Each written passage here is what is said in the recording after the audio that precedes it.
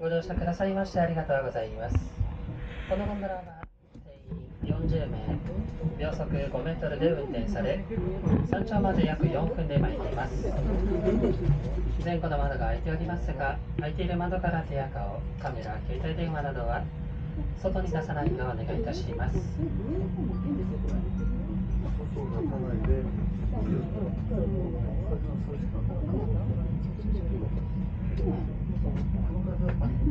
このノコギリ山は海抜329メートル、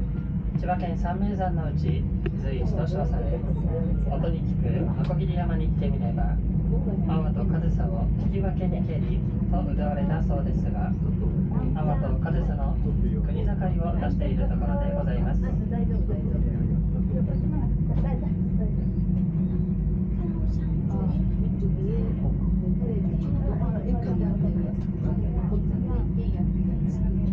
これより通過いたします支柱の高さは18メートルでございます。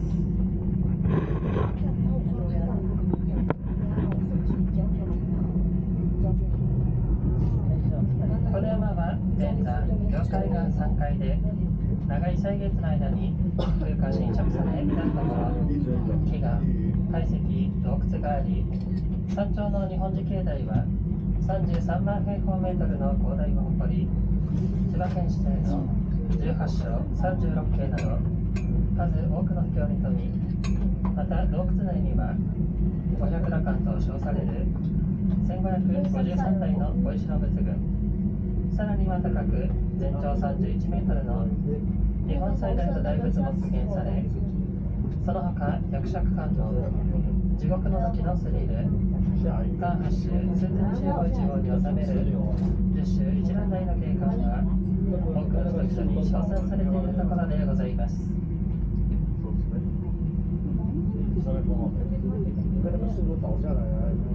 正面に見えます垂直な岩肌は遠い昔より建築用石材として切り出された後でこの石切りの歴史は山頂建物内資料コーナーにて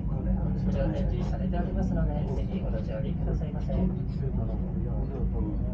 まもなく山頂駅に到着でございます。ご乗車くださいましてありがとうございました。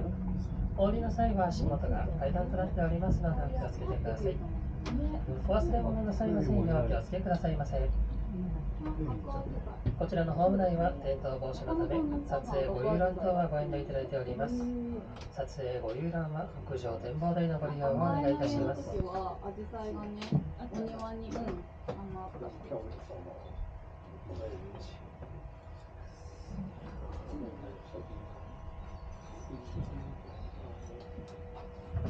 の内藤さんちのね、